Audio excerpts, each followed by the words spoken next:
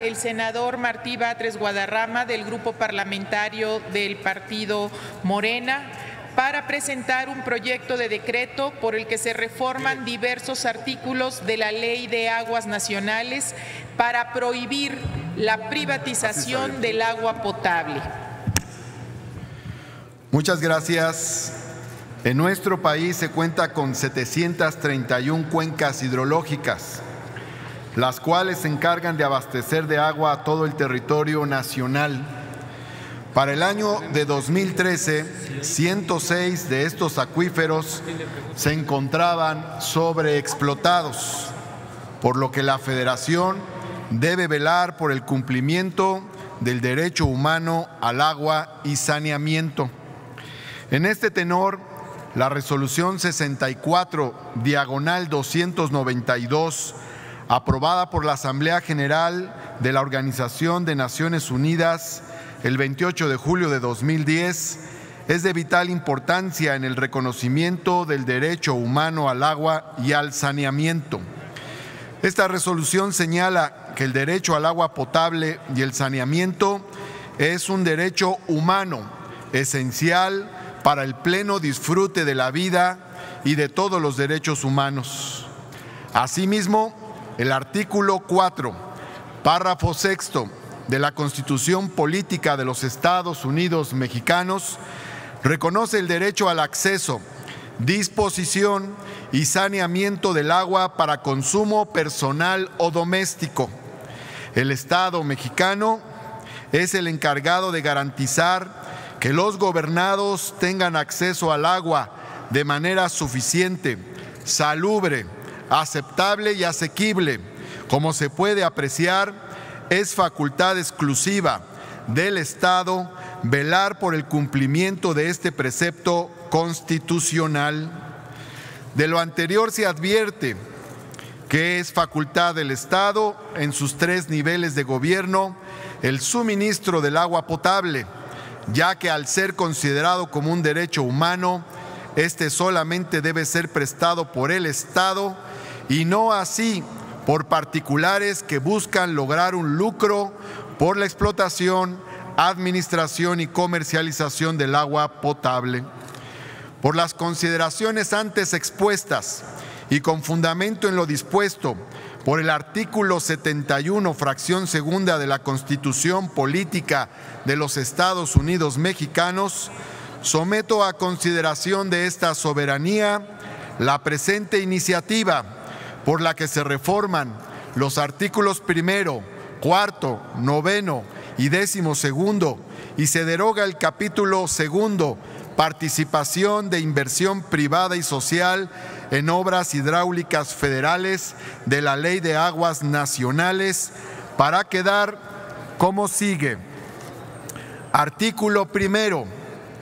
Toda persona tiene derecho al acceso, disposición, y saneamiento de agua para consumo personal y doméstico en forma suficiente, salubre, aceptable y asequible, así como a conducir todo tipo de investigaciones independientes para monitorear la calidad del agua y proponer medidas para su uso sustentable.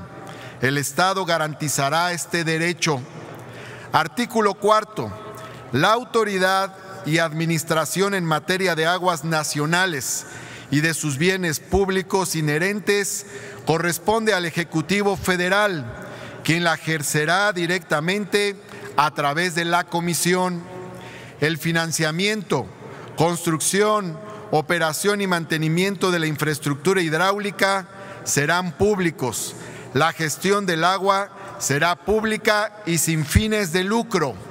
Queda prohibida la celebración de contratos con particulares, así como el otorgamiento de concesiones totales o parciales para operar, conservar, mantener, rehabilitar, modernizar o ampliar la infraestructura hidráulica y la prestación de los servicios asociados a esta.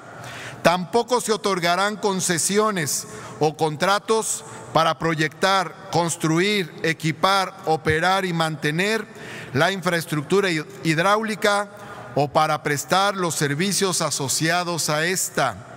Queda prohibido que un particular realice actos de administración y comercialización del servicio de agua potable. Queda prohibida toda forma de privatización de la gestión del agua. Fracción novena. Programar, estudiar, construir, operar, conservar y mantener las obras hidráulicas federales directamente y realizar acciones que correspondan al ámbito federal para el aprovechamiento integral del agua, su regulación y control y la preservación de su cantidad y calidad en los casos que correspondan o afecten a dos o más regiones hidrológico-administrativas o que repercutan en tratados y acuerdos internacionales, en cuencas transfronterizas o cuando así lo disponga el Ejecutivo Federal, así como en los demás casos que establezca esta ley o sus reglamentos que queden reservados para la actuación directa de la Comisión en su nivel nacional. Fracción décima. Apoyar, convenir y normar las obras de infraestructura hidráulica que se realicen con recursos totales o parciales de la Federación o con su aval o garantía, en coordinación con otras dependencias y entidades federales, con el Gobierno de la Ciudad de México, con gobiernos de los estados que correspondan y por medio de estos con los gobiernos de los municipios beneficiados con dichas obras en los casos establecidos en la fracción anterior. Fracción 20 expedir títulos de asignación o permiso de descarga a que se refiere la presente ley y sus reglamentos, reconocer derechos y, y, llevar el registro público de derechos al agua. Artículo, perdón, fracción 32, emitir disposiciones sobre la expedición de títulos de asignación o permisos de descarga, así como de permisos de diversa índole a que se refiere la presente ley. Fracción 48 resolver de manera expedita las solicitudes de prórroga, de asignación, permisos de descarga y de construcción que le sean presentadas en los plazos establecidos en la presente ley.